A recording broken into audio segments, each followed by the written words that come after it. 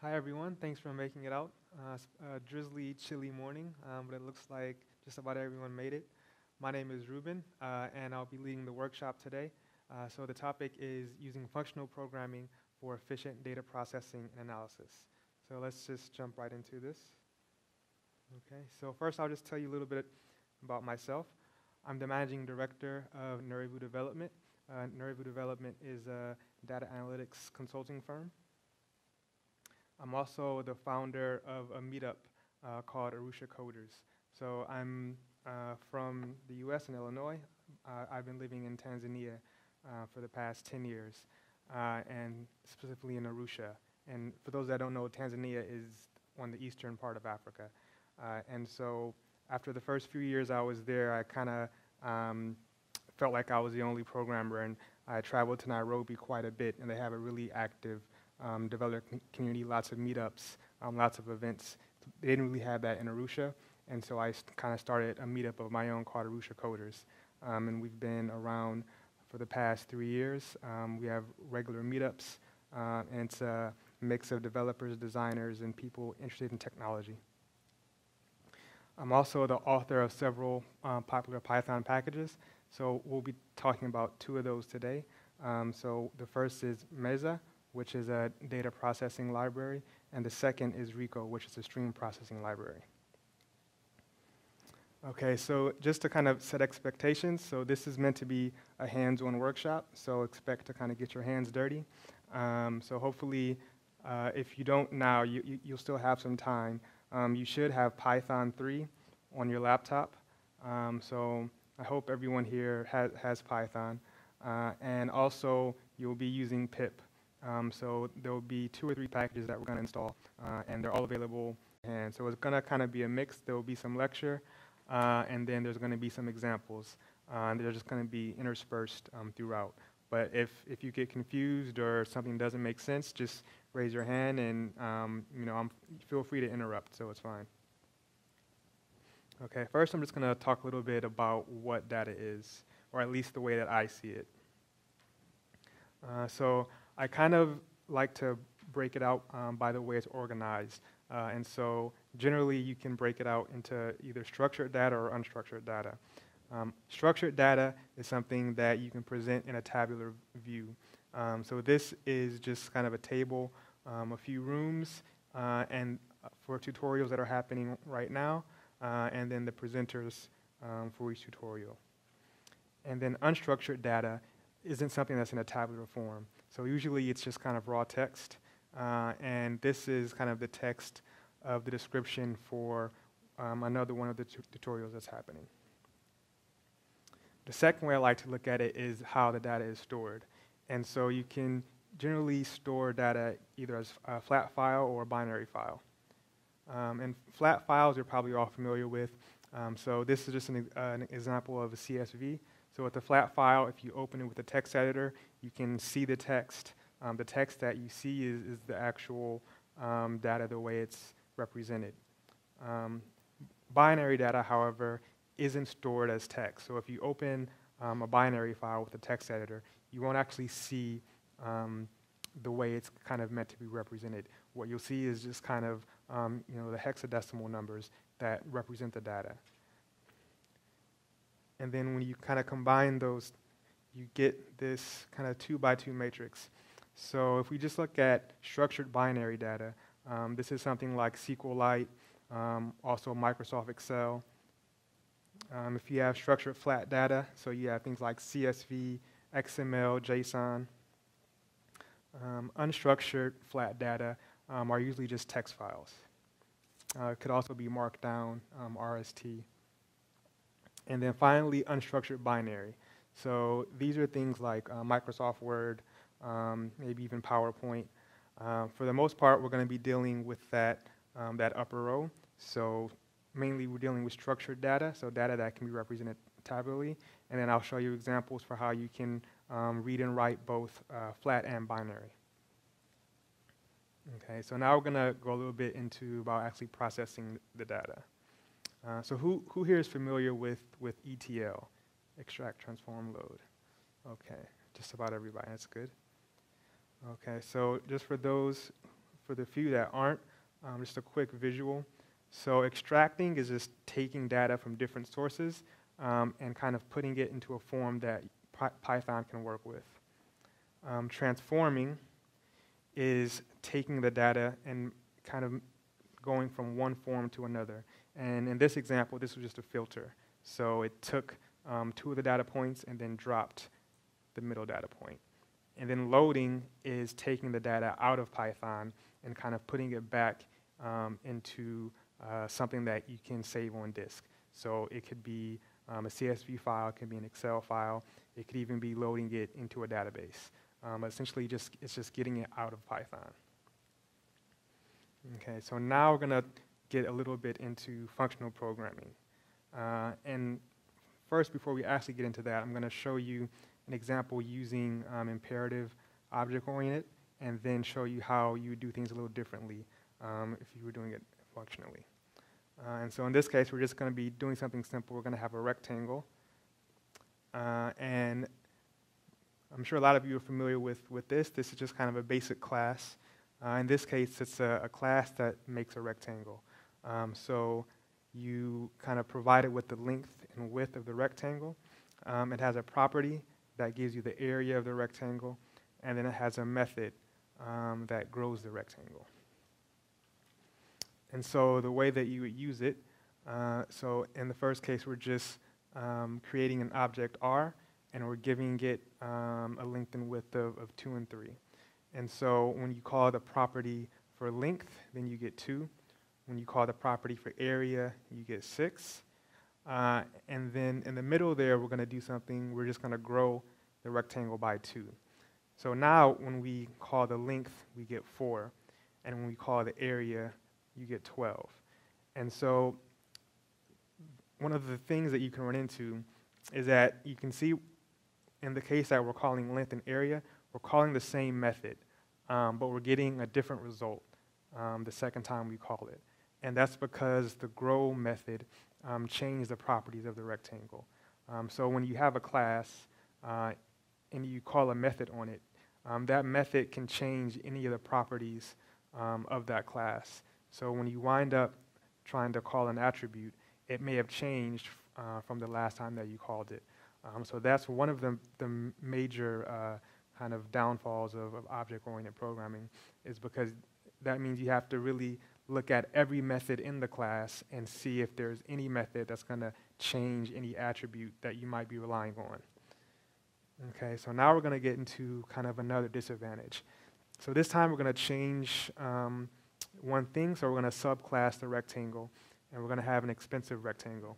So this one, all it's doing is it's just going to sleep um, before giving you the area. And this is just um, kind of a fill-in to represent anything that might be computationally intensive. Um, so you might be doing some, uh, some numerical process or some kind of um, series of steps that just happen to take a long time. So in this case, we're just going to be sleeping for five seconds. And so now when you call it, so we get the rectangle, and now we want to call the area. Uh, and you know, in this case, you're going to have to wait five seconds, and then you get the result. So let's say you're doing some calculations, and then you need the area again. So you call it, okay, now you have to wait, wait, wait, wait five seconds, and then you finally get it. Um, so essentially, every time you call that attribute, um, it, could, it could also be a method, but every time you call it, you have to pay the price um, that, of that expensive computation each time. Okay, so now we're going to get into one more downfall. Uh, in this case, uh, we're going to be using um, a series um, of rectangles. And just to make it easy, we're going to be using squares, uh, but we're going to use an infinite list of squares. Uh, and once we have that list of squares, um, this function is just going to calculate the sum of the area of all those. And so it's um, pretty um, simple. Uh, this is probably what a lot of people have done before. So you just kind of create uh, a variable that stores the total, and then you iterate through each, each rectangle, and you add um, the new area, and then finally you return it. Okay, so in order to create the, the input, so we're going to be using a module called itertools. Uh, so itertools is something that's really useful for functional programming. They have a ton of module, sorry, a ton of functions um, that do some pretty cool things. Um, so in this case, we're using count, and count um, just starts from the number that you give it, uh, and then it just increments by one, and it just does that infinitely. Uh, and so in this case, um, we're going to create uh, something that's called a generator. So that's um, where you see squares. Uh, since we're using, I'll just point out here, since we're using parentheses uh, in the beginning and the end, um, what that does is it creates a generator object. Um, so then when you actually call squares, um, you don't have a list. You have kind of a, a, a lazy um, reference to the list. And in order to get each item from that, you call the next function. Uh, and so you can see in this case, we have that rectangle object. Uh, and so kind of all we're doing here, we're creating an infinite list of, of rectangles. Um, so it's going to be a square. So the first one's going to be a one by one square, then two by two, three by three, etc. So now if we want to calculate the sum um, of the area of the squares, um, so we call it, uh, and you're just going to be waiting and waiting and waiting, and you're actually going to be waiting forever because you know it doesn't end. Um, so you have to kind of do Control C, um, you know, get rid of uh, the computation um, because you're going to run out of memory eventually. Um, and so that's kind of another downfall of object-oriented programming is that if you have like an infinite list or maybe the list um, of objects is just so big that it won't fit into memory, using kind of object-oriented programming, it doesn't give you kind of nice ways to deal with that. Okay, so next we're going to kind of look at those same examples, but just show you how we, you would use functional programming to do things a bit differently. Um, so in this case, instead of having a class, um, we just have multiple functions. So we have a function called makeRectangle. Um, it takes the same arguments, length and width, um, and then it returns a tuple. Uh, and then we have a function growRectangle. So it takes a rectangle uh, as an input, and then the amount that you want to grow it by. And in this case, it's returning another rectangle. And then as before, there's the length and area, um, but in this case, instead of attributes, they're just going to be functions. And so the way you use it is kind of similar as before. Um, so you, you get R, which represents your rectangle, um, but this time we're taking the rectangle and we're passing it into the function. So we pass it into the function get length, and we get 2. We pass the rectangle into the function get area, and we get 6. Uh, and then when we want to grow the rectangle, um, again, we pass it into the function, and we get a new rectangle. And you can see here, if we call get length and get area, we have the same result that we got before. So in this case, um, just by using functional programming, it means you don't have to kind of worry about all the functions that exist because you know that each function takes in your object and returns something new. And you're not changing something about the object that you give it. So if somebody adds a new function, you don't have to kind of look at the details. Um, all you have to really look at is the function that you're calling. So it makes things a lot simpler to maintain. Um, and you can also organize things a little better because they don't really have to be, um, each function doesn't have to be together um, because they kind of act independently. And so now, since the grow rectangle was actually returning something new, um, I'm just showing you how you would use it. So in this case, we're saving um, the result of the grow rectangle into a new variable, and we're just going to call it big R. And so now when we use get length and get area on that new rectangle, we can get um, the, the doubled length and the doubled area. So in this case, the main difference is you're essentially going to be um, setting new variables each time you kind of make a change. So if you want to save, um, if you want to grow something, or if you want to make some kind of modification, instead of doing it directly on that object, you just create a new object and then you save that. So now that we've done this, um, looking at the example of the expensive rectangle, so we can do some interesting things. Since we're having functions, uh, one of the properties of these functions is that when you give it the same input, it always returns the same output. So if you have something like that, what you can do is you can do something called memoization. And so in Python, there's a pretty neat function Uh, so from functools, it's called LRU cache, and it's just uh, least recently used cache. Um, so what that means is it keeps track of every argument that you give it, um, and then there's a finite set of memory that it takes up, and then the one that was least recently used is the, is the item that kind of gets deleted when it's running out of space. Um, so we just take that operator um, and we put it, uh, sorry, the decorator, and we put the decorator um, on top of the function.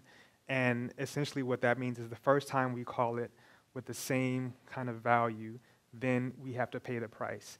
But every subsequent time after that, the value is kind of saved in memory. And so I'll just show you how that works. So here we, we make a rectangle. We're going to call this expensive get area. So the first time you have to wait five seconds, and then you get the result. But the next time you call it, you get the result back immediately. Um, so you can wind up kind of saving a lot of time um, if you're dealing with any kind of work where you're, you kind of have a limited set of inputs, um, and those inputs are kind of being used multiple times, then using the can really help speed things up. Okay, so now this is going to show you how you would uh, handle the case of, of having the, the infinite list. Um, so in this case, we're going to use what's called an accumulator. So you give it your, your list or your iterator of rectangles, and instead of kind of waiting until the entire list has been exhausted and then returning, um, it kind of yields. And when you have a function that has a yield instead of a return, then that makes that, it turns that function into a generator. And so this is kind of one of the, the key pieces of, of functional programming is you'll see a lot of that. Um, you'll see a lot of generators, um, and you'll see yields, and you'll see parentheses instead of the square brackets. Uh, and so what that means is every time you use the function next, um, it returns kind of what is after that yield.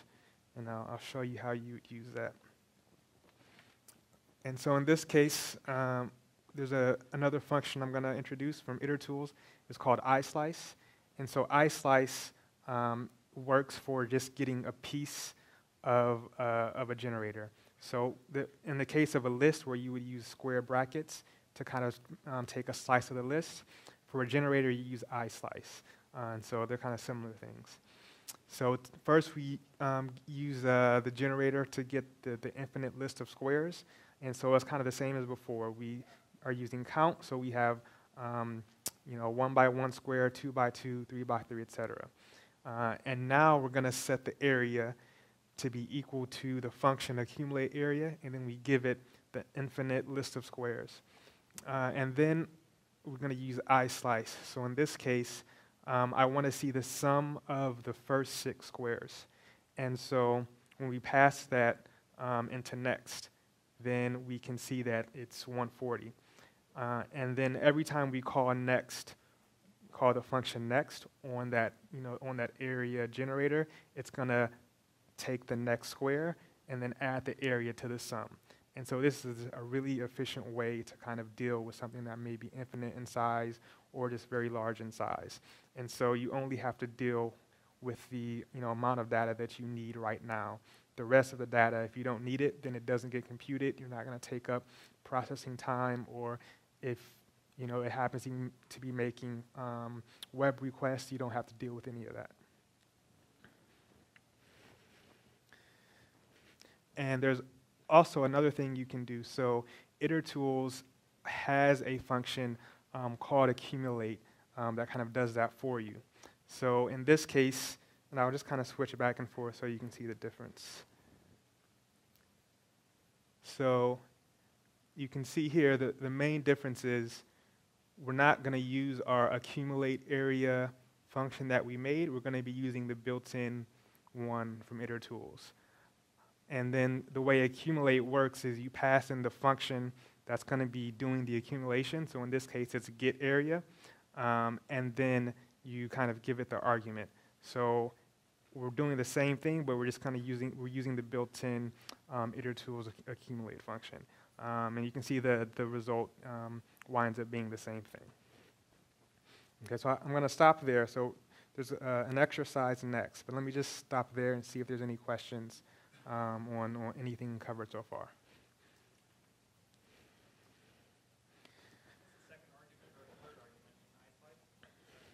Oh, so if you if you give it two arguments, then it's start and stop. If you give it one argument, it's just stop. So, So it's, so it's getting it from six to seven? Yeah, exactly. Yeah. Anything? Any other questions? Okay. So we'll go into the first exercise. Um, so the first exercise is um, kind of meant to just be a, warm up. And so this is actually uh, a picture from uh, the, the coast of Tanzania. And there's a beach called uh, Pangani.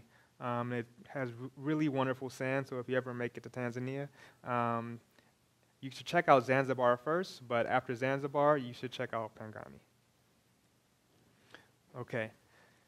So our first exercise, um, we're just going to be dealing um, with, with rectangles. Uh, sorry, with, well, triangles, which are going to be half of a, of a rectangle, as I'll show you later. Uh, and as I said before, with our rectangle function, uh, we had the length and the width. Um, but in this case, we want to figure out what the hypotenuse is. And the hypotenuse is just that diagonal um, that's z.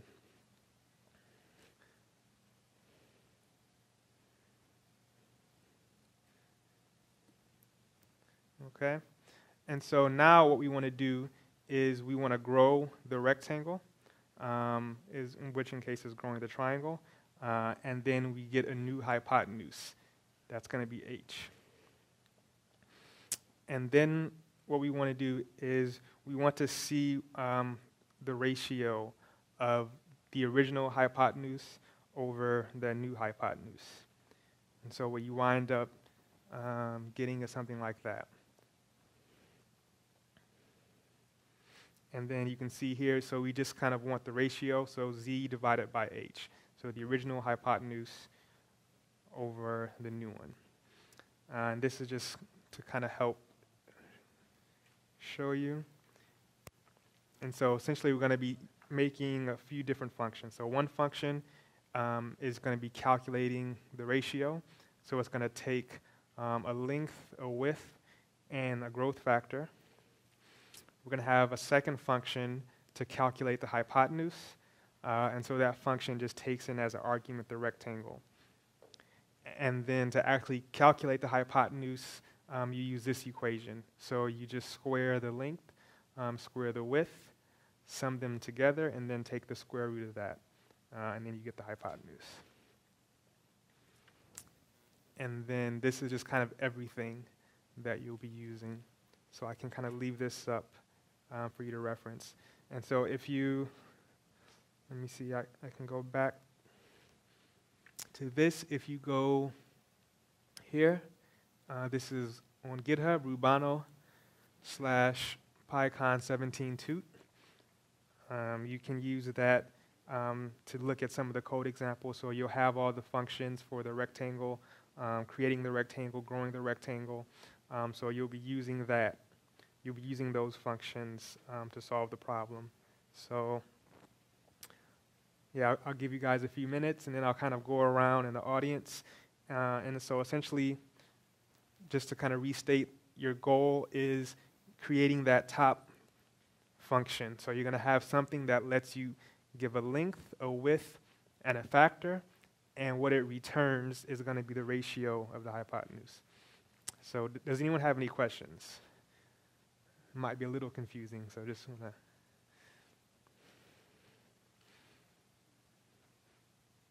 Any questions? Sure.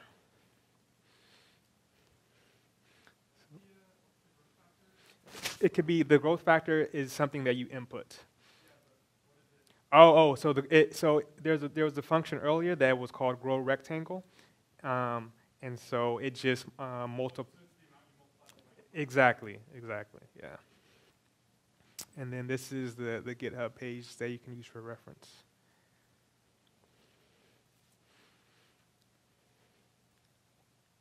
Okay, so, so I'll, I'll kind of take a walk around in the audience and just kind of, um, you know, help out if, if anyone's running into problems.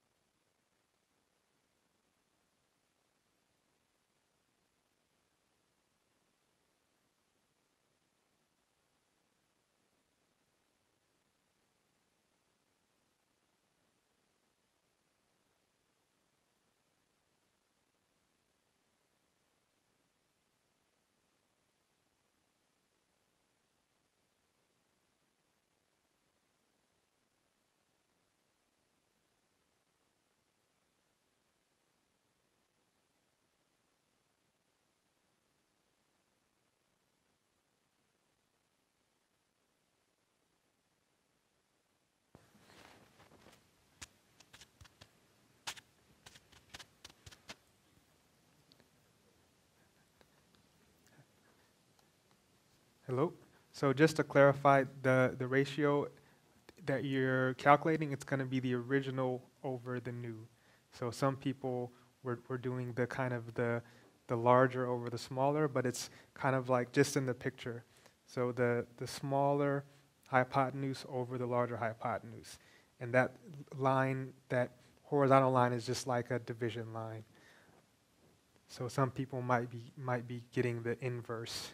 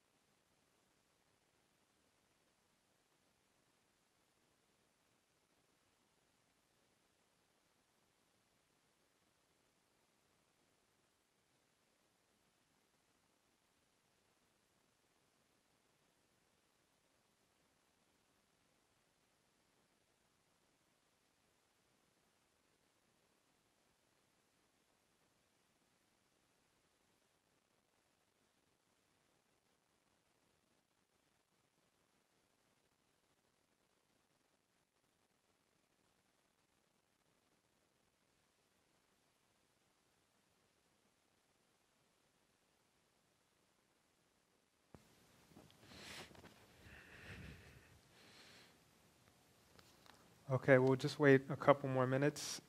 There might be one or two more people left, um, but yeah, just let's do about three more minutes, and then I'll go over I'll go over a solution.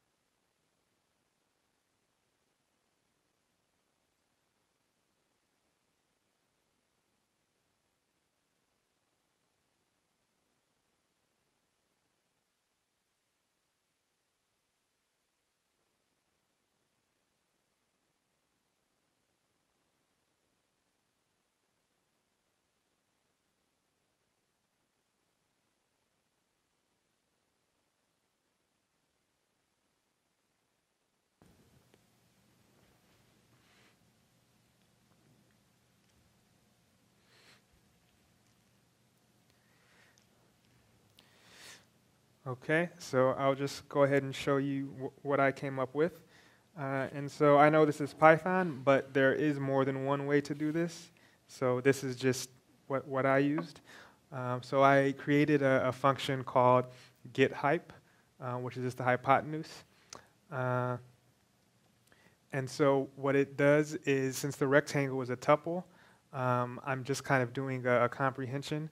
So there's a, a function in Python called pow.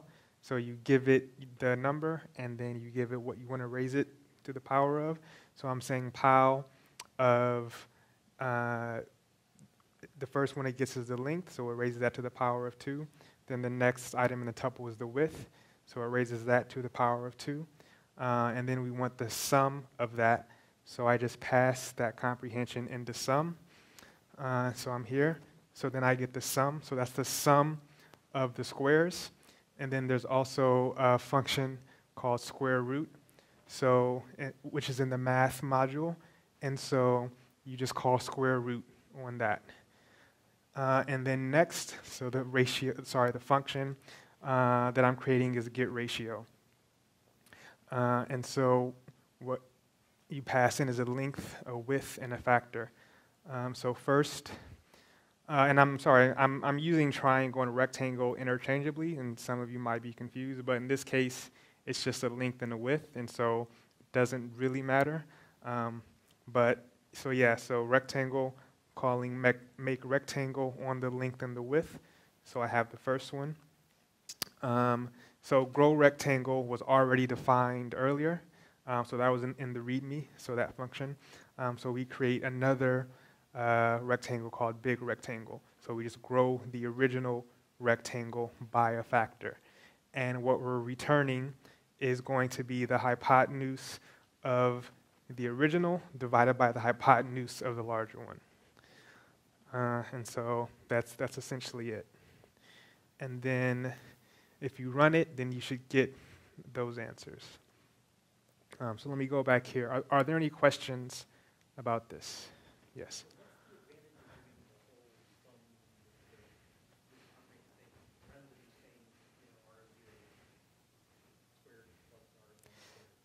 Yeah, so, so the question, yeah, the question is what, what was the advantage of doing that? Uh, it's just preference. did, did somebody have a comment? I didn't, I didn't.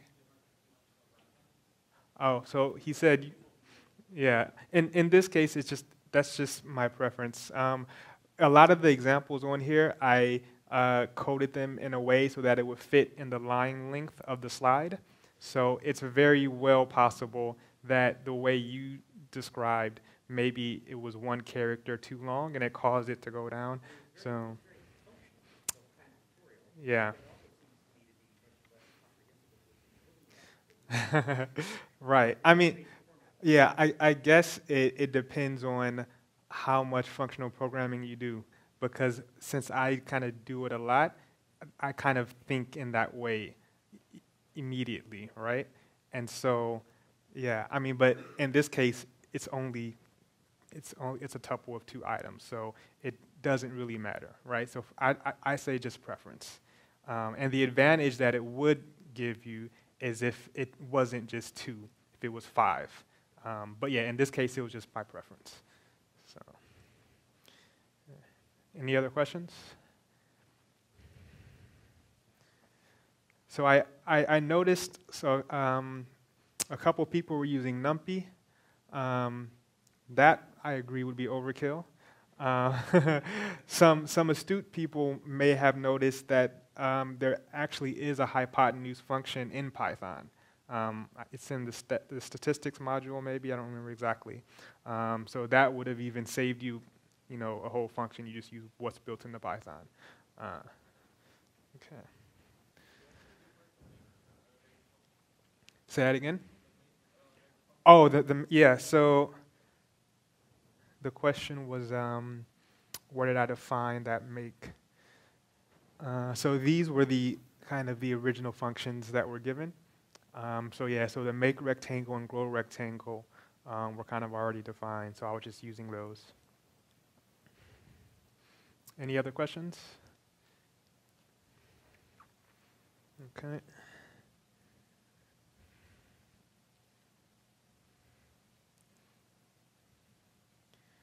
Okay, now, so you might not need pandas.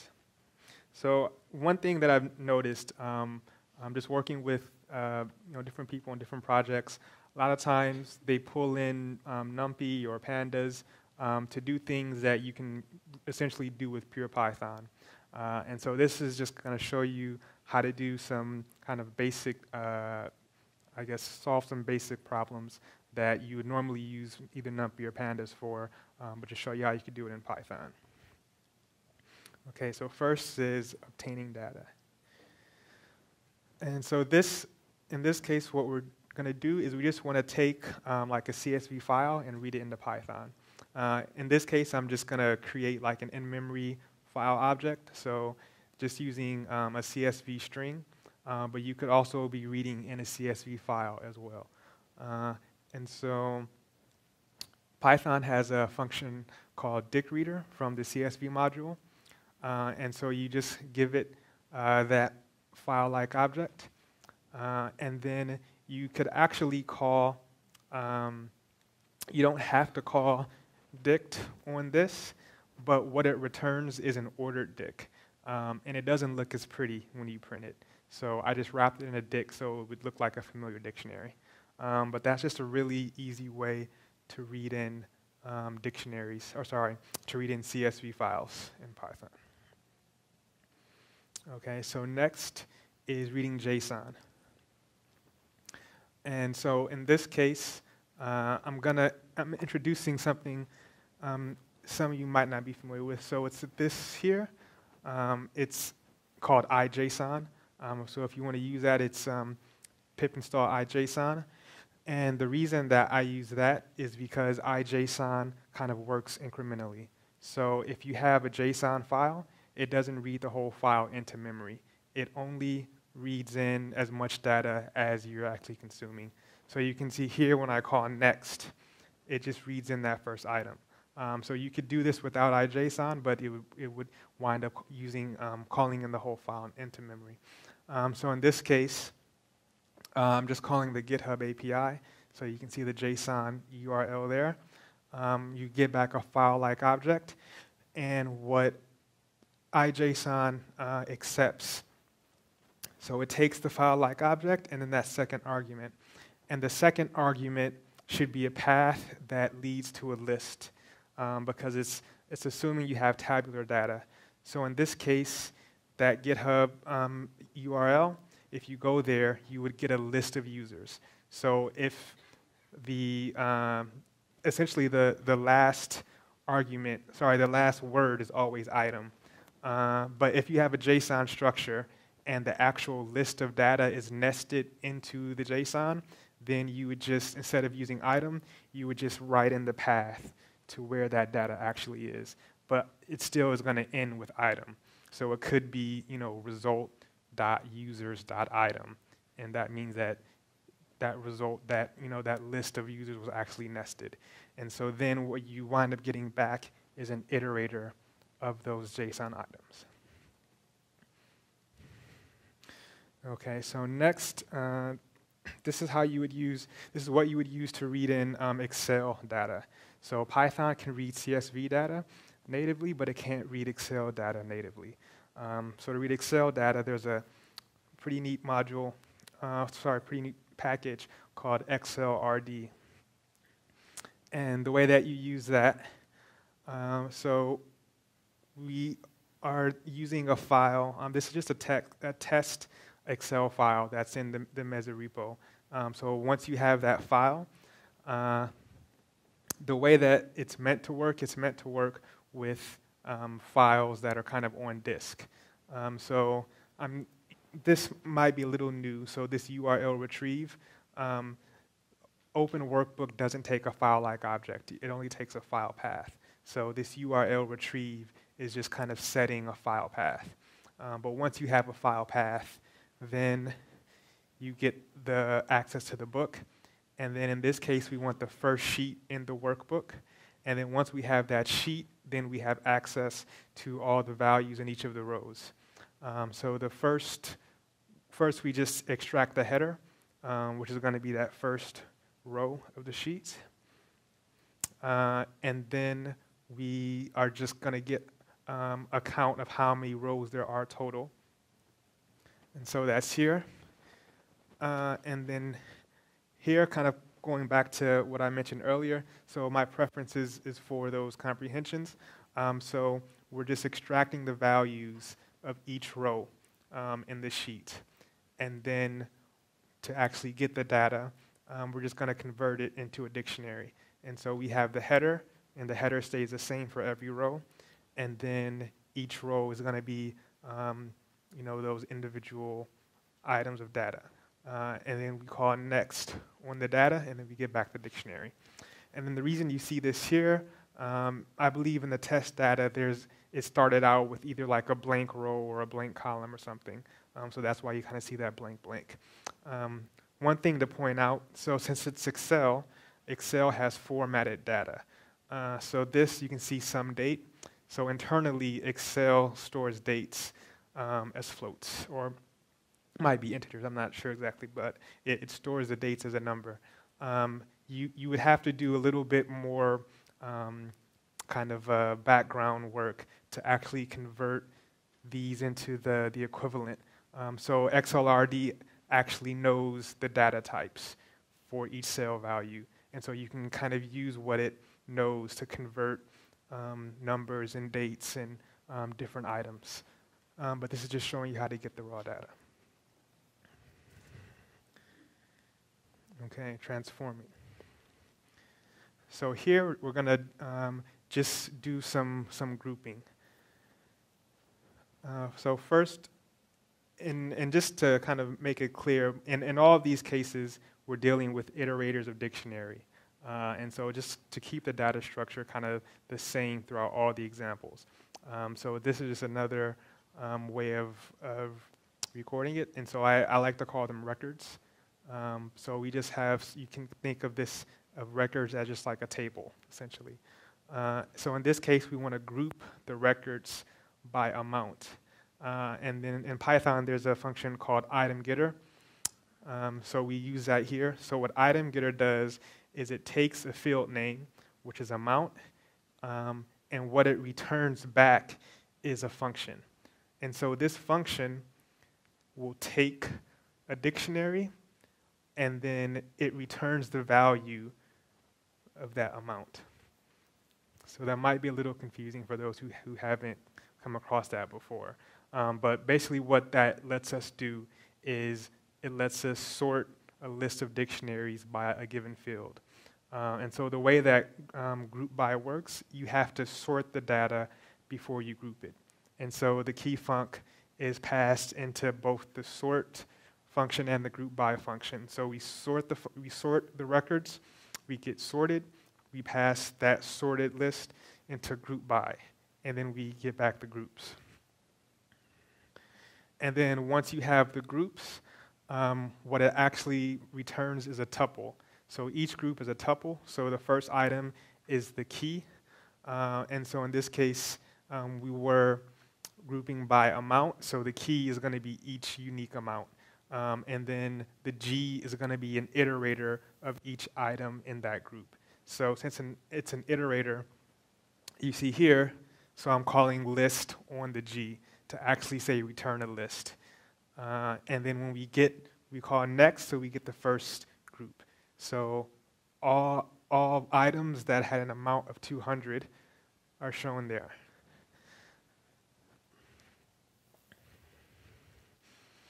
Okay, and so now we're going to be doing something, um, I guess, a, a, little similar. So instead of grouping, we want to aggregate.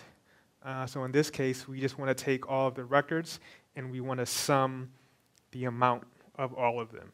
Uh, and so this is this is kind of some neat syntax that was introduced.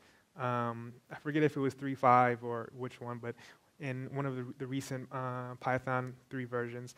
Uh, so first we take um, we take the first item of records, uh, and then what we want to do is we want to create a new dictionary um, and we're replacing the key, which is amount, because we're aggregating by amount, and then the value is the sum of all of the amounts. So essentially what that does is it returns the first item of that records and all of its keys, and it's replacing the one that we're aggregating by with the total. So let me stop there for a second. Does anyone have any questions so far?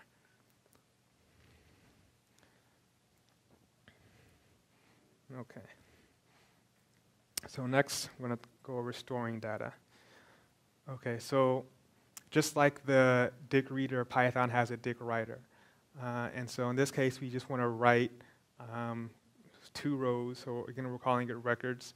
Um, with the dict writer, you, you have to specify the header. Uh, and so in this case, I'm assuming every item in the records have the, the, same, the same fields. Um, otherwise, if one of the records has a field um, that wasn't in that header list, it won't be present in the, in, in the result. Um, but once you have the headers, then you just set the file that you want to save to, uh, and then you write the header, and then you use write rows um, to write all of the rows, and then you get your CSV file. Okay. So up until um, now, most of that was, was pure Python. Um, so now I'm going to um, show you how you do a few of these things with meza. Um, so meza is a library that I wrote, and it is, kind of intended to be used for doing data analysis. You can kind of think of it as a, a lightweight version of pandas. Um, so I tried to cover a lot of the use cases that uh, people use pandas for. Uh, but in this case, meza is pure Python, um, so there are no compiled C libraries. Um, you, you, don't need Anaconda to install it. It's, um, you know, you just use pip uh, and installs, and it's, it's kind of simple. Um, and it also uses functional programming under the hood. So a lot of the things you do with pandas are more object oriented. So you have a pandas data frame and then you call methods of that data frame. Whereas with meza, it exposes functions and then you give it records, which then output um, kind of a new set of records. And so this is also on GitHub as well. Um, it's under, under my reubano. Okay. So we'll just go over those same examples, um, but now I'll show you how you, you would do that with uh, using meza. So when you're reading data, there's, a, there's, an, there's an I.O. module, uh, and there's a function called read. So the way read works is it looks at the file name, and based on the extension, it determines if it's a CSV or JSON or XML, etc. Um, so in this case, we just pass it the file name, and then we get back records. Um, you can also pass it a file-like object. If you pass it a file-like object, then you have to be explicit and tell it um, if it's a CSV or JSON. Uh, but in this case, it's a file name, so it knows it's CSV. You call next, and then you kind of get, get your records. Uh, here, we're going to be using the, uh, the GitHub API that I, that I showed you earlier. Uh, so in this case, you can see here we're passing the file-like object. So you pass the file-like object. In this case, we just use read JSON. Uh, and it uses that, that iJSON under the hood um, that I mentioned earlier. So you can see in this line, I'm passing in the path, and I'm just saying item. So that means that the, the JSON that it's getting is the, the complete list. And then you call next, and then you get the records. And then finally, XLS. Uh, so this is um, the same Excel file that was mentioned earlier, uh, but in this case, under the hood, um, I parsed the date. Um, so instead of kind of that number, you, you actually get what the date is. And it also recognized that there was an empty row and empty column, so it kind of stripped that out automatically as well.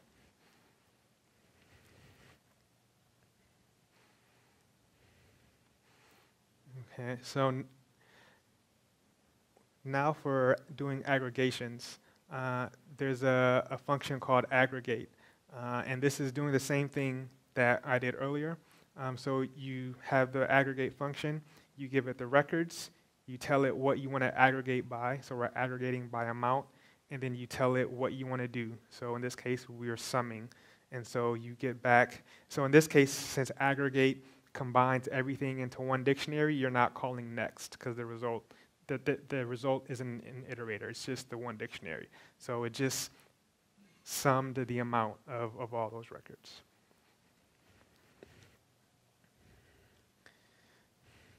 And this is an interesting function. So this is merge. Uh, and so you give it uh, your records, and what it does is it kind of applies each record one after the other. Um, so if any of these keys overlapped, the, the last item um, that was in that, in that list would actually overwrite it. So in this case, since none of the keys overlap, um, you just wind up getting one dictionary that kind of has the result of all those together.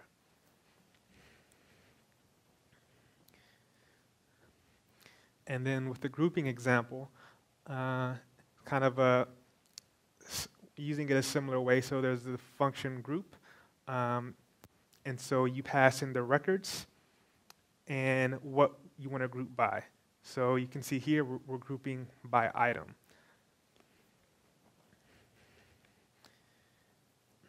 And then, yeah. I do not believe so. Um, and I actually forgot to paste the result, but the result, the, the result of this would be similar to, to the previous group by example. Um, but I just wanted to point out here, uh, so you don't have to worry about sorting um, because this group function will take care of doing the sorting for you. Uh, so how many people here have used pivot tables in Excel? Okay, about half. Um, so this uh, is, so with meza, I, I have two functions. Um, one is called pivot and the other is called normalize. um, but they essentially work um, the way that Excel pivot tables work. Uh, so in this case, I'll show you a bit how you'd use normalize. Uh, so if you have records here, uh, and in this case, you can see that you have um, Setosa and Versi um, as field names, and what we want to do is normalize that so it's kind of more tabular. And so in this case, the arguments that we want to give it, um, so I'll kind of first go here. So the key data, um, we know that Setosa and Versi are, are petal links. And so we're going to rename that to length. Um, and then what Setosa and Versi, what those names actually are, are the species. So the column is going to be species. Uh, and then the rows that it's getting this information from is here is going to be Setosa and Versi. And so when we call normalize, now we have kind of a nice, you know, normalized tabular data set. So the color is blue, length is 5, species is Setosa. And just to kind of show you visually what happened, so this was the data before, and then we called normalize on the data, and then you kind of get what you see in that second table.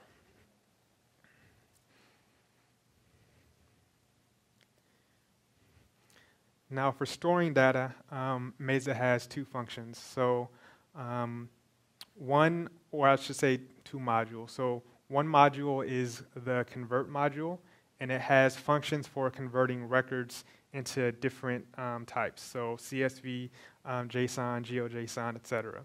Uh, then there's also a write function, which will take the converted data and persist it to disk. So what you get back here using the convert functions, this CSV is a file-like object.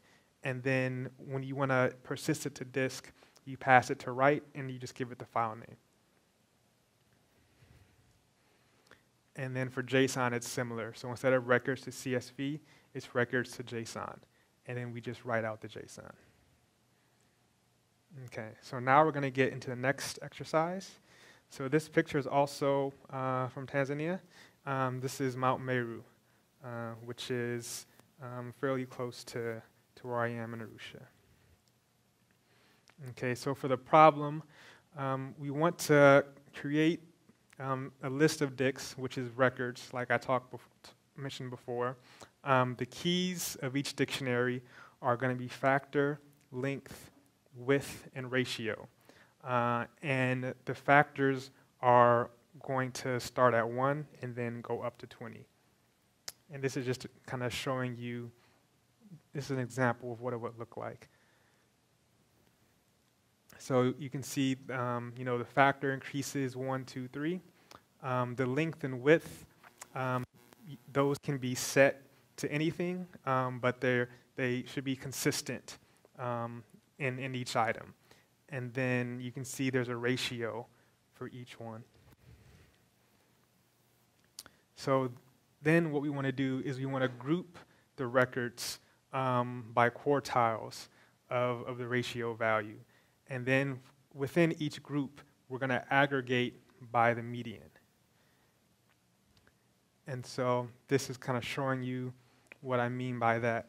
So to get the quartile, um, uh, you can just do this. So, so once you get the ratio, um, so that operator is, is called floor division.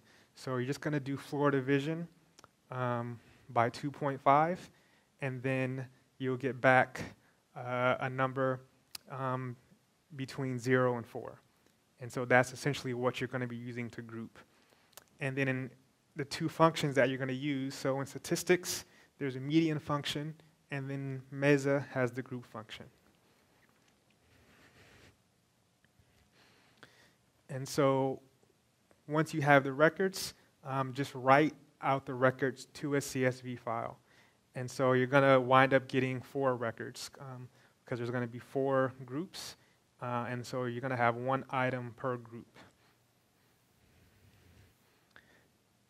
And the functions you're going to use for that, I kind of talked about those earlier. So records to CSV, will convert it to CSV, and then write will actually write it to disk.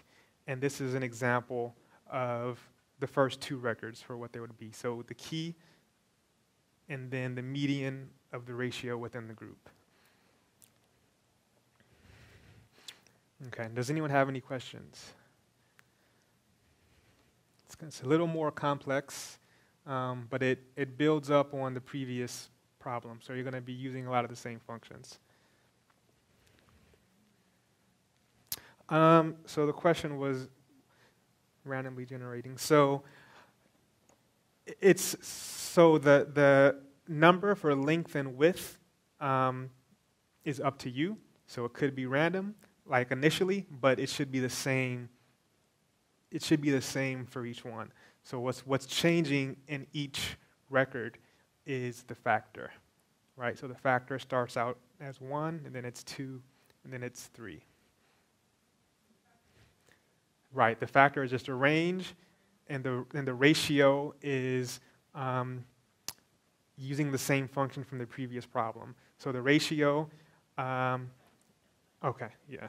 And then the length and width can be anything, um, but they should just be the same for each item. It, it shouldn't change.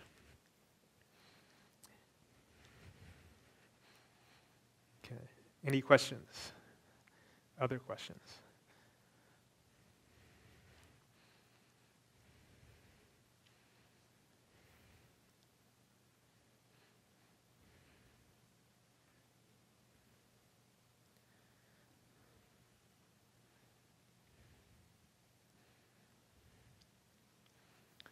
And if you look in the, in the GitHub repo, um, there's a section called problem two, so it lists all of those statements.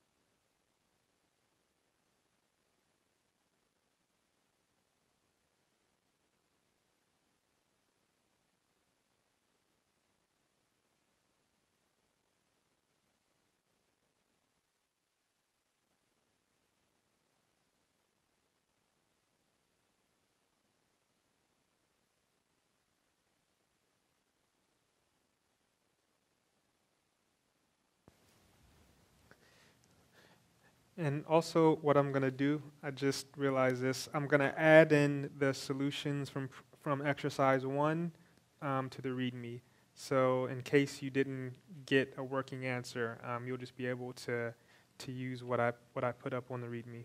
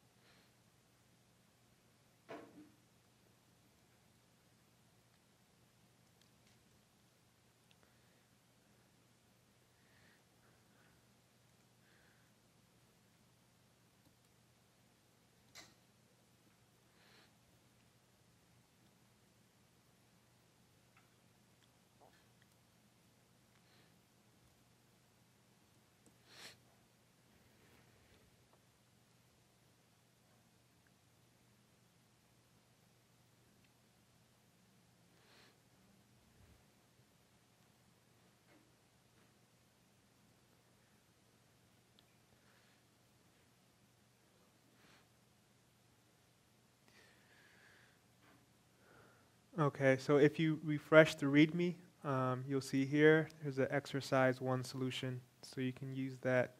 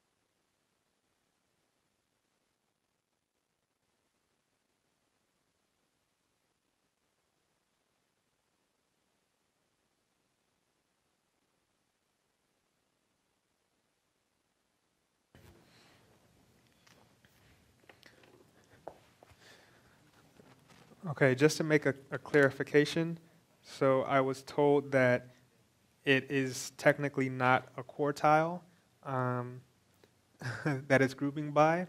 Uh, so this line here, so I called it a, a quartile, but essentially all it's meant to do is say everything from 0 to 0.25 is in one group, 0.25 to 0.5 is another group, 0.5 to 0.75, and then 0.75 to 1.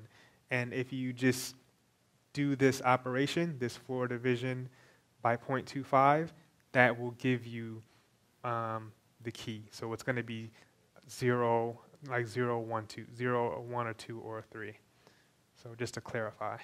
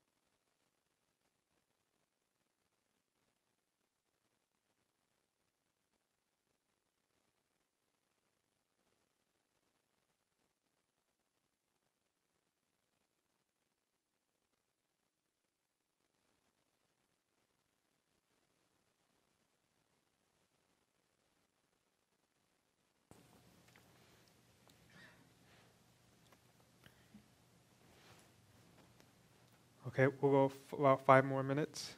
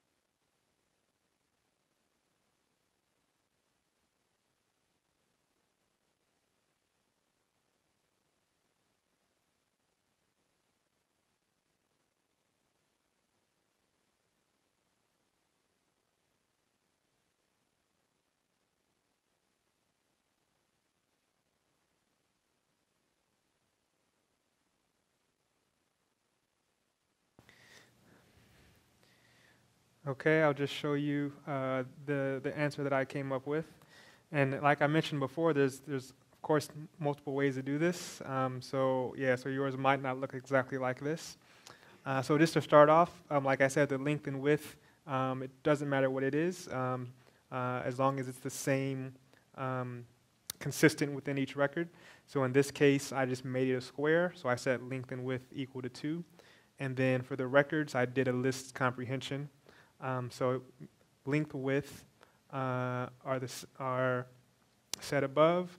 Um, ratio, I'm calling the get ratio function that, that we mentioned earlier. And then I'm looping um, through the range from, from 1, essentially from 1 to 20. And so that's where you get that F. Um, so F is F and ratio are, are the things that are changing. And next, I'm going to use the, the median function. Uh, and then from meza, I'm going to use um, the group function from the process module. So one thing that, that I didn't mention, um, I know at least one person figured it out on his own, um, but group can actually take an aggregator um, uh, keyword argument. So you can either use the individual aggregator function or you can just use an aggregator into the group function. Uh, so in this case, I defined my aggregator here. So the aggregator takes a group. Um, and the, the advantage of defining the aggregator um, keyword argument within the group, or within, within, within here, is because the, the aggregator um, doesn't have to worry about the key, the key, right? So what we get here is just the, is just the iterator um, of records. Um, so we don't have to do any um, like tuple dereferencing to, to strip out the key or anything. That's already taken care of. Uh, so here, this is just uh, another comprehension. So I'm getting an iterator of the ratios. So we get the ratio for each item in the group, and I'm returning the median of the ratio. So th this is our aggregator function. We pass that as a keyword argument. So that's here. Um, this line is how we're grouping things. Uh, so kind of, I think most of you got this, hopefully. Um, so the what we're grouping by is, and I'm, like I said, uh, it's I called it the quartile, but I've been told it's not a quartile. But whatever the, the correct terminology is, um, we're just doing the floor division by 0.25. So that's how we're grouping it. Uh, and so now when we call this group function, we pass the records, the key function that we're grouping by, and then in this case, I'm passing in an, an aggregator function.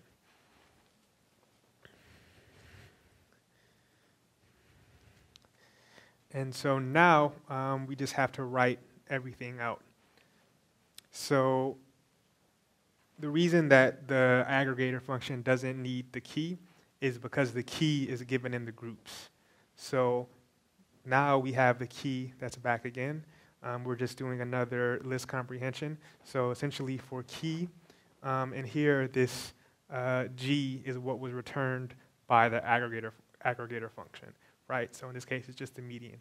So it's uh, you know, basic comprehension. So now we have a list of dictionaries, and we can pass that into records to CSV. We get our CSV file-like object, and then we just write that out.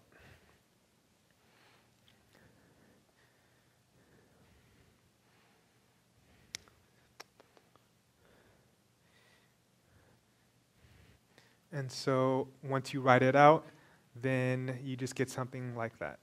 So the keys uh, and then the medians. Okay. So let me go back to these. Does anyone have any questions about that?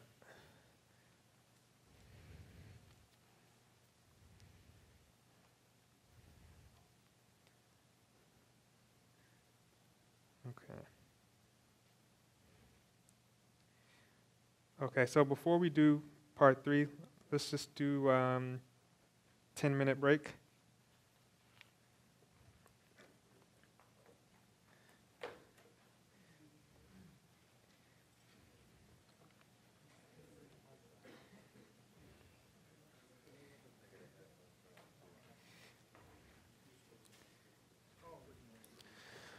Oh, yeah, sure. Sure.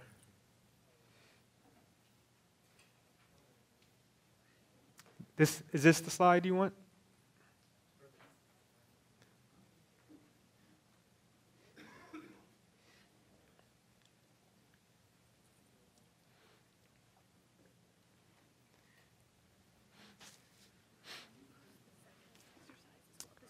I will,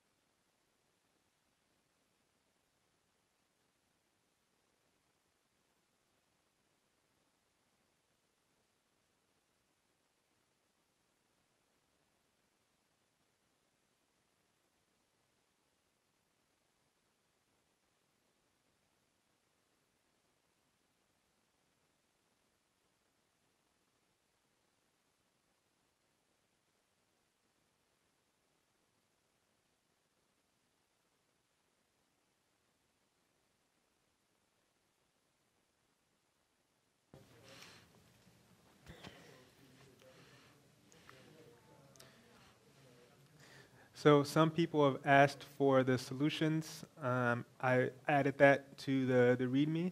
So you can see here, so exercise two solution is now there.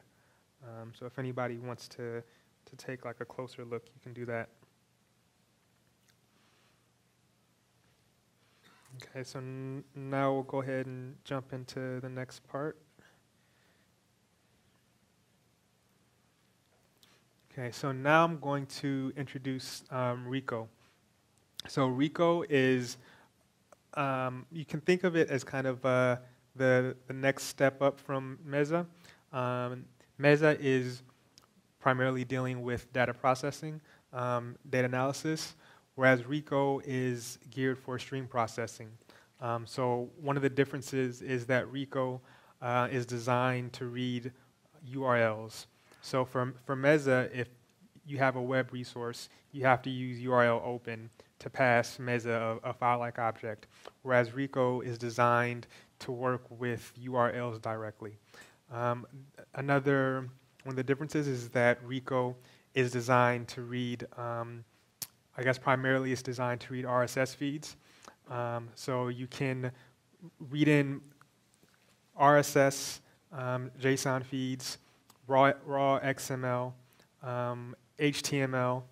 Uh, so it's, it's kind of designed for doing a lot of web, web-based um, ETL or, or web-based stream processing. So how, how many people here have heard of Yahoo Pipes? Okay a few of you. So essentially, riko was created to implement Yahoo Pipes in Python. Um, so if, if you have used Yahoo Pipes, then a lot of this will look really familiar. And for those who don't know Yahoo Pipes, Yahoo Pipes uh, was a web service that let you do ETL on RSS feeds. Um, that's kind of the gist of it. So they had individual modules they called pipes, and each pipe let you do either, it could either be a source pipe or a transformation pipe, but it just kind of let you mix and match RSS feeds, do kind of cool transformations, mashups, um, and it was pretty pretty cool. And then they shut it down um, a couple years ago. So for this, um, you just pip install riko, and kind of like before, I'm kind of going to go over the same, the same, I guess, basic uh, type of task you'll be doing. So first, obtaining data. For this, um, I just wanted to show you how you could do some basic screen scraping. So if you go onto the python.org um, website on the events page, um, you see the Python events calendar. Uh, and this is just a, a quick screenshot. But what we want to do is kind of extract the, the upcoming events from the website. And if, you, if you're in Chrome and you have the inspector, um, you can kind of highlight the, that main list. And so you can see where in the DOM that is. And so we're going to be using that information later um, because the, the pipe that we're, we're using to, to read the, the HTML, it's going to take an, an XPath. And so XPath just tells, it just tells you where within the DOM your data is, is located. Um, so HTML pages, they start with HTML, and then you have um, body, and then you could have any number of tags. And so within the Chrome inspector, if you kind of highlight the area you want, there's an option that says copy XPath. And so you can use that to kind of get a start to figure out what, what the XPath is actually going to be. And so here, uh, the way we're going to instantiate it is there's a collections module, uh, and within that module, we're going to use sync pipe. And sync pipe, you can just think of it as a way of creating um, like a, it, creates a chainable interface. So whereas before with, with Meza, we were calling the functions um, kind of independently. When you have a sync pipe, uh, you can use a function, um, but it, it looks kind of like a method. So you would actually put a, a dot and then the name of the function. So it, it acts like a or I should say, looks like a method, but under the hood, it's actually acting like a function.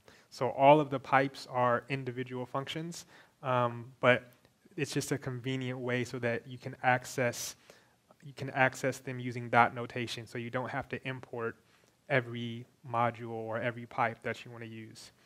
Um, so in this case, we start out with the URL.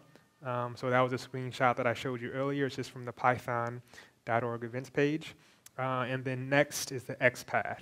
So in this case, it's a, it's a bit long, uh, but you can see, like I said, it starts with HTML. Um, so you essentially just figure out exactly where within the DOM the data is. Uh, and in this case, we want um, the, that list of events. So that's going to be the, the, the, actual XPath. Um, next here is going to be the configuration. So for the configuration, we give it the URL and the XPath. Um, and so these are going to be what we use initially. Um, these lines here, so this is going to be um, for the subsequent pipes that we access um, using the dot notation. Uh, and so it might actually help if I go to the next slide first so you can see what, what we're doing. So for riko, the, what I kind of like to call the result of using sync pipe um, is a flow. Um, and basically, everything um, that you see here kind of outputs a flow. So if I just stopped at this first line, this sync pipe, it would still be a flow. And all that means is you get this nice dot notation. So anything that's a flow, you just use dot, and then any module that's defined within riko you have access to. So here we want to say, we want to figure out how we want to access the data. Um, if it's an RSS feed, you would just use the default, which is fetch.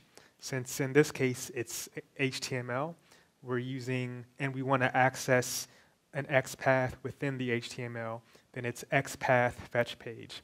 And then we pass in the configuration. So what we're doing after that um, is the sub element. And let me just go back so now I can show you what we wanted to do. So within the sub element, um, we have these two, uh, these two parameters. Uh, and so the main one is this one is, is ePath, and this stands for the event, and then LPath, which stands for the, the location. So within, um, I guess, the HTML, once you get that actual list of, of, of events, each event itself is then further broken down. So the path to the actual event name is going to be here. The path to the location, the name of the location, is here.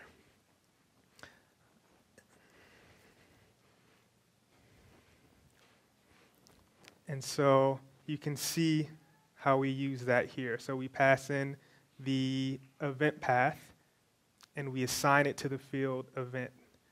Uh, and this one, we're passing in the location path and we assign it to the field location. And then what I'm doing here, this rename, so I'll go back. So this is essentially just used to make the output a little prettier. Um, rename takes a field, and then it takes a, a second um, a second item, um, which is what you want to rename it to. In this case, if you don't pass that one, it will just delete it. So this is just a convenient way to delete these two fields um, because it just makes the output very verbose. So in that last line, we're just removing those two fields that we don't want, and we're going to end up with the fields we do want, um, which is just the event and location. And every flow has a couple methods. So one is list, which will return a list of all the items, and the other is output. And in this case, we're using output, so it returns a generator of the items. And it's the same data structure that we've been using before, um, just an iterator of dictionary. So you call next on the stream, and then you get the first event. You call next again, and then you get the next event. Okay, so now we're going to do a little bit of transformation. So in this case, um, what we want to do is we want to find the path to the date for the event, and we want to filter by all events that occur after June 1st. Um, so here we just have the filter rule. So it takes the field that we're looking for, which is a date, the operation is after, and value, which is the date that it has to be after. Um, the flow is the same as before. Um, sub element, sub element, rename, those are the same as before. So the only thing that's different is at the end, we're adding in that filter. So this time, oh, actually, and I forgot to mention, so yeah, I added, I added that extra date. So there was that date path, and then I added, so you can't do a filter on a field that doesn't exist. So I added in that date field. Um, so then we can filter on it. So now we have the date field, which is there. Event and location were this already there, same as before. Um, but in this case, it filters um, to only the event that met the criteria. And so next, so riko has a few different APIs. So the one that I just showed you was the synchronous API. So riko also has uh, an asynchronous API, which uses Twisted under the hood, um, and it has a parallel processing API. Uh, and even within parallel processing, you can um, parallelize either by threads um, or by um, the physical CPUs. Uh, so in this case, since we're going to be making web requests, we're going we're gonna parallel, uh, parallelize by threads. Uh, so if if you went to that to that website, the the events has kind of two sections. So the section that we were were kind of scraping from was the upcoming events. Below that, there was a section that was previous events. So in this case, we want to get items from both the current or the upcoming events and the previous events, um, just using the kind of one, uh, you know, one, one call, I guess. Uh, and this time, instead of calling sync pipe, um, we're going to be calling sync collection. Um, it's still an XPath. Uh, the only difference is now we have two XPaths, so one for each section that we want to pull from. And what sync collection takes is going to be the sources. And so it's just going to be the configuration uh, for each of the individual calls to this XPath fetch, fetch page. So, and I didn't, I, I think I may have mentioned merge before, but merge is from Meza, so basically it's just taking this dictionary, um, which is the same for both sources, and it's adding in the XPath, because XPath is the only thing that changes um, within that. So we have the sources set. Uh, so what you want to do the main difference is to make it parallel, you just pass parallel equals true to sync collection. So if you didn't pass parallel equals true, then it's going to do it sequentially. Uh, and in order to get that flow back that we mentioned, um, so this collection object, you just call the pipe method. And when you call that pipe method, you get back a flow, which is the same type of thing that we were working with before. So now we can call the the, use the dot notation. So we can take the sub element, uh, and in this case, um, I was just extracting the event, um, and we're using the same rename rule as before, um, just to make the output kind of fit on the slide. And like I mentioned before, you can use um, dot output or dot list. So in this case, I'm showing you how you use dot list. So you uh, call dot list, and now stream is a list. So if you take the first item of the list, um, then you get the first event. And the main difference is now this time stream has items from both of those sections. So both the, the upcoming events and the previous events. And so this is just um, calling the last event in the stream. Uh, and you see it was PyDays Vienna. Okay, so before I get to the exercise, so any any questions about about any of that?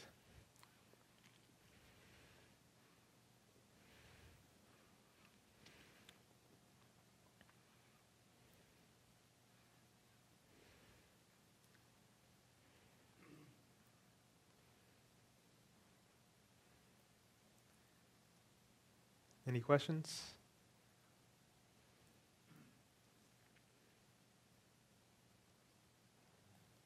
Okay. So exercise three, this is the last exercise. Um, so this is Mount Kilimanjaro, um, also in Tanzania. So it's the, the largest mountain in Africa. Uh, and so I guess that should kind of give you a clue about the difficulty of, of the exercise. Okay, so for this, uh, Python also has an RSS feed um, for it's like a job board.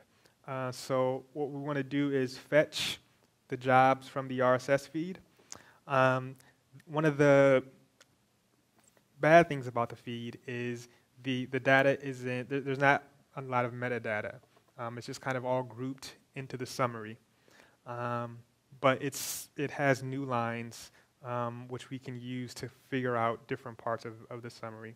So you want to tokenize the summary by the new line.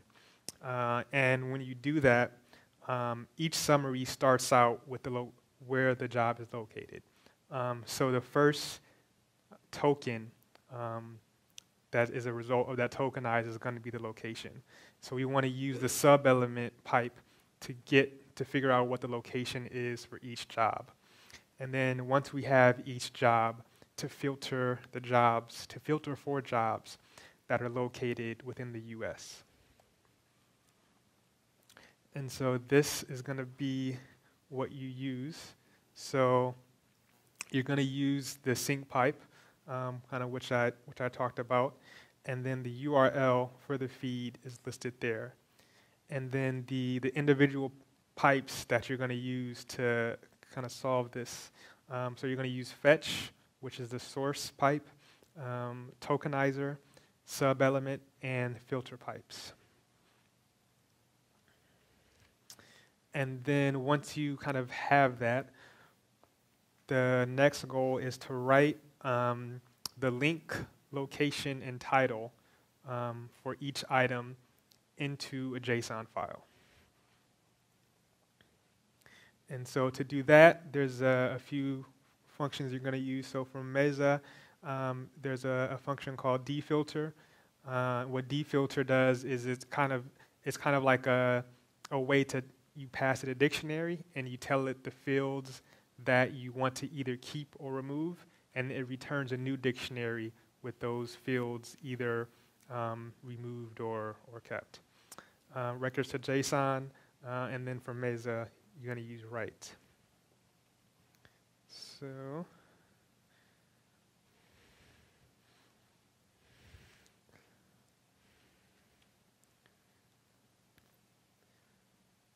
So you'll find that here.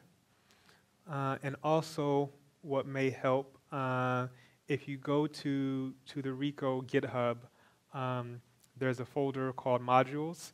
Um, and within that folder, each pipe is its own file.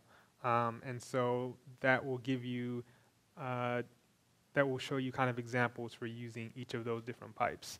Uh, and, and also, as before, the, the examples that I showed in the slides um, are on the GitHub page as well. So you can kind of start here, and then if you want more examples using the pipes, then the, the, the riko GitHub page will have those examples.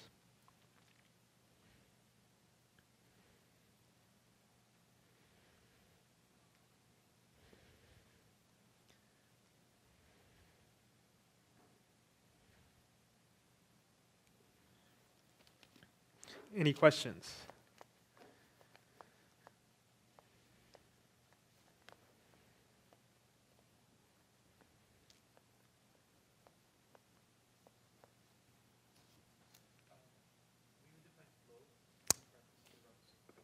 Sure.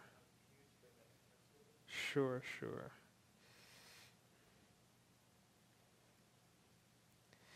So the question was about the flow in the sync pipe. So when you call, so you could call um, that sink pipeline, you could call that on its own. What it returns is a pipe object, and a pipe object has the uh, the dot notation. So I'm essentially calling that pipe object flow.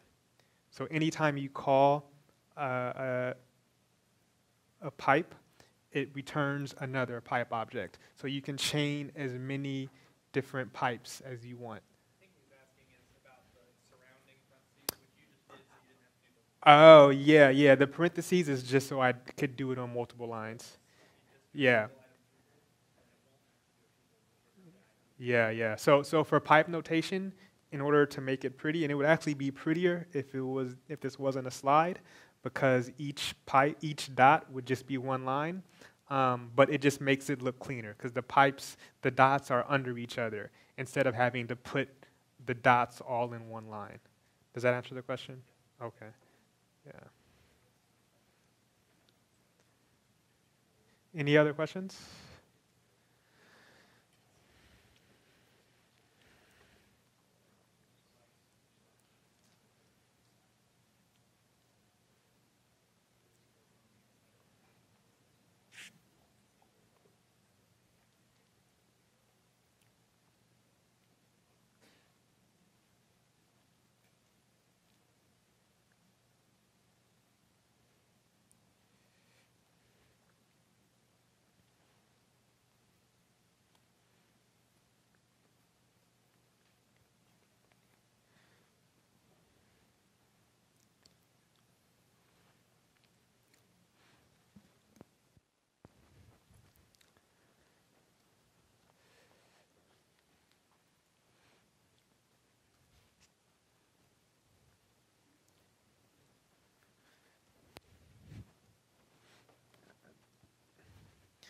So are you still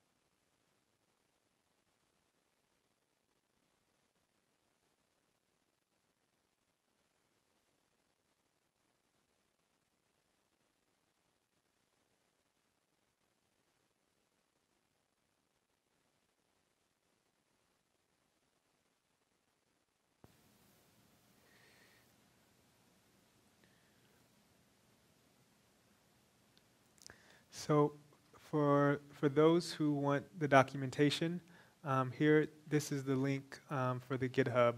So GitHub slash Nerevu slash riko, and then the folder is riko modules.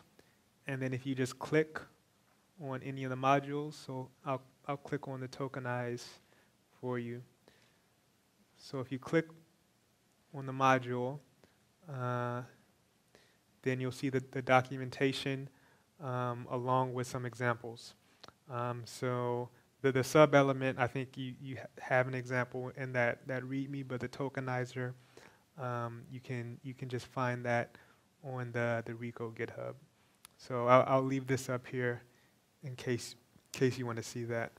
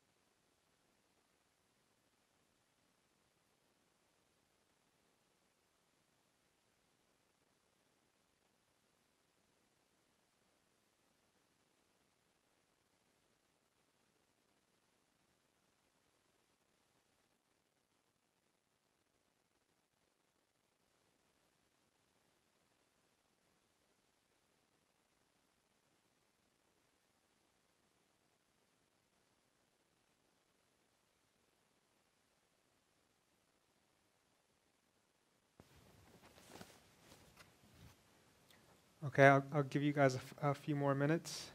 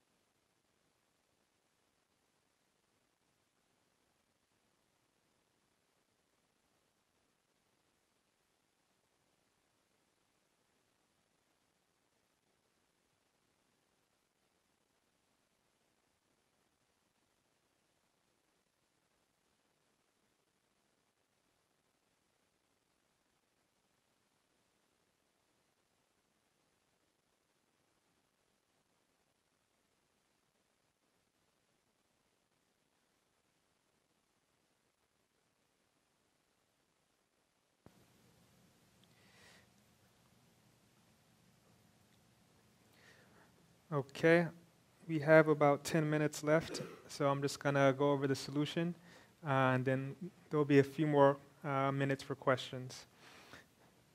So here, uh, we're just gonna use the sync pipe. Um, the URL is the one that I gave you before, it's just that RSS feed. Um, the configuration is a bit simpler. Um, it's the fetch configuration is just the URL. Um, tconf is, is for the tokenizer. So for the tokenizer, it takes a delimiter. The default delimiter is a comma. And so in this case, we want to delimit by a new line. Um, so if you don't need to change the delimiter, you can leave that line out. But in this case, we want the new line. Uh, the, there's going to be two rules that we want to use. Um, so for the rule, um, the field is going to be in the location field. The operation is contains. Um, and the two values that we want it to contain are USA and United States. And like I said before, the, the, the, actual syntax here might look a little weird, but I just did what I could to make it fit on the slide. So you wouldn't necessarily write it exactly like this in, in your file. Um, but what we want to end up with is just a list of dictionaries. So each dictionary is going to be a rule. And so the first rule is that location contains USA. The second rule is that the location contains United States. And so we do that, and we get here a list of a list of those dictionary rules. Okay. So next, um, since we have two rules uh, here at the top, we, we have to tell it how to use the rules. So by default, um, it uses an AND. So for the filter, if you supply multiple rules, it will think, it will assume that every rule has to match. In this case, we want OR. So we just use the combine, um, the combine keyword and we say it's OR. And then for, see, kwargs is for the sub element. So for, for sub element, um, this is what we're going to be passing into it. Um, so there's two things to note here. So emit is going to be false. If emit was true, then it would essentially erase everything that was that you fetched and would replace it um, with with what you were sub-selecting. So when you say emit is false, it essentially saves your work. It doesn't erase everything. Um, and then token key, uh, by default, token key um, is going to be uh, is going to be content. And so in this case, we're just saying that we don't want a token key. And then for path, the path in the sub element. So what, what, we, were, what we did with tokenizer, and I'll show you later. Um, so for tokenizer, there's an option to tell it what field to assign the value in or the result in. By default, you, it assigns it to the name of the pipe. So by default, you would have a new field called tokenizer, and the result would be there. Uh, and in our case, um, we, we are going to say assign it to the field location. So that way, when we do the sub element, we can just look in location. Um, so we're looking in location, um, and then, like I said before, you have, since you're tokenizing by new line, you have a list of um, where each item is the line, and the location was the first line. So it looks in location, um, the, it's keyed by content, and then it's going to be the first item in that line. So that's how you get the path. And then this R rule is kind of just like before. This isn't necessary, um, but I just did this to make the output fit on the screen. So this is just going to remove these items um, from, from the output. Okay, so a lot of this should look familiar. Um, so to sync pipe, we're just passing fetch. Um, then we give it the configuration. So from here, um, this is tokenizer. So we pass in the configuration. The field that it's looking in is going to be summary. The field we're assigning it to is location. So now you want the sub element. Um, the path, I told you before, it looks in location dot content dot zero, and we're reassigning it back to location. Uh, and then next, we're going to filter. Um, so we're just filtering where the USA or, or United States is, is in the location. Um, and then rename is just going to delete a few fields. And so here we can just get a, a, stream by calling list. And if we look at the first item in the stream, a lot of this stuff you can just ignore. It just kind of comes default in the RSS stream. Um, but the key ones that we're going to look at, so here, um, it assigned the location. Um, this is the title, which was already there, um, and then the link. So those are the three, the three ones that we, that we wanted to keep. And so now that we have the records, um, we just need to filter by the fields that we want to keep. Um, so here is the dfilter function that I kind of told you about. So the fields we're keeping are link, location, and title. Uh, and we just do a list comprehension. Um, so by default, dfilter takes these fields as a blacklist. So normally it would delete these fields. In this case, we say inverse is true, and then it treats this as the white list. So these are the white listed keys. Um, it's a list comprehension, so we go through each item in the stream, pass it through dfilter, it keeps these fields and assign that to records. And then once we have the records, then we can just write out to a JSON file. And then if you look at the JSON file, then you just get something like that.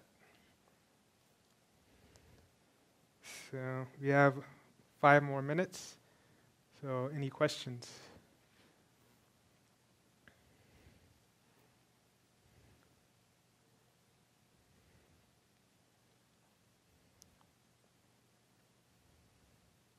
What, what parts did people get stuck on? mm-hmm.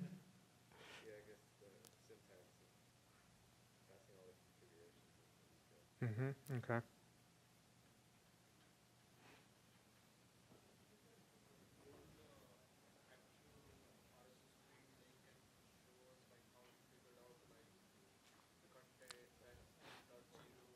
Oh yeah, yeah. So the question is, how, how do you figure out all of that stuff? Uh, So.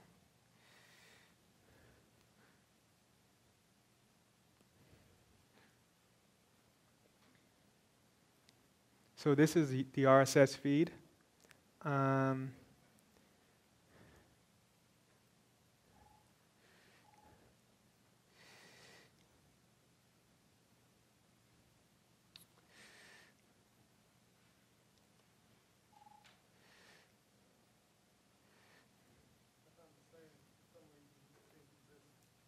Say, oh no no yeah. So the so the thing is, um, riko uses feed parser under the hood, and it reassigns description to summary. Um, so basically, what I did is when I look at the RSS feed, um, I could see that everything was kind of in a chunk. Um, and if you just do the sync pipe without any of the filters, you can just look at what it gives you raw. So before you even apply subfilter, tokenizer, um, you just have the sync pipe and you just save it as, as a flow. And then you can look at the output and see, okay, you know, what, what am I working with? And then you can kind of see everything that it has. So I guess that's the first step. Uh, and then after that, it's just looking to see, okay, well, where is the location? Um, and then in this case, I saw that, okay, well, it's in the description, which, which got renamed as summary. And then if you actually print it on your terminal, you'll see all the new lines. So then I thought, okay, well, how do I get the, the location? Well, it has new lines, so let me split it by new lines. And then since it's the first item in those lines, then you can kind of work your way that way. And, and also with the configuration, you can play with the path. So you just give it, instead of giving it you know, location, content, zero, you just give it location and then see what you get back. And then you can just keep adding more and more to the path until you get the, the answer that you want. So you can do some by trial and error. You can do some. Um, there's some examples in the in the GitHub repo where you can find as something that was similar. Um, even for myself, because I wrote the documentation, you know, maybe a year ago. So I would just look through the examples and see which example was similar. So, does that answer the question? Okay.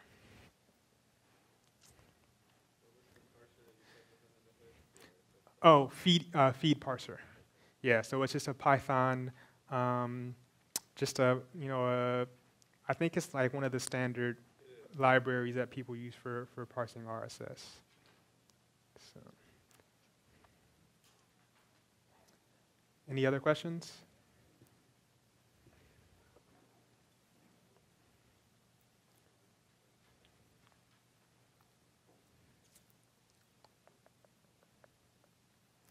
Okay. All right. Well, thanks for coming. Uh, and I'll be here. I also I have stickers.